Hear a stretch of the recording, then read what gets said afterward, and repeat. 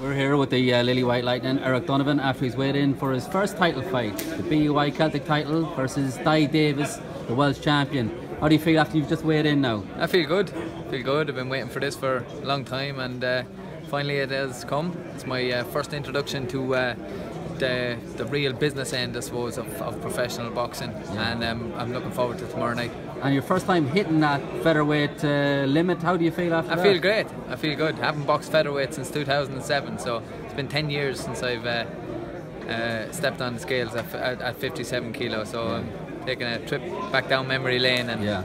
I'm looking forward to putting on a show tomorrow night. And you've had a, had a long time to prepare for Dai Davies, and he looked in fantastic condition there today as well. Yeah, what, no, what I noticed straight away is like um, he looks up for it, and he looks like you know a guy is, is there to perform, and he's, he, he, he genuinely believes he's going to win. Um, and I haven't had that before, so um, that's going to bring the best Eric Donovan out tomorrow night, and I can't wait for it. Yeah.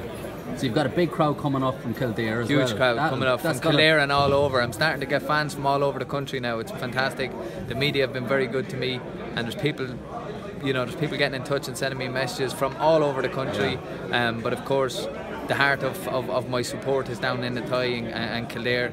Uh, also a big following in Drogheda as well. But it's coming, it's coming together nicely, and people are starting to believe in the Lily White Lightning, and it's good.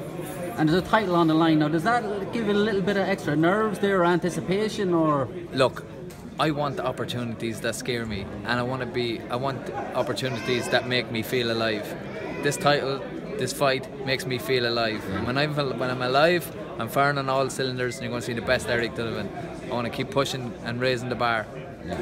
Well, listen, you look great. Good luck tomorrow, and uh, hopefully it's a great fight. thank you enjoy the show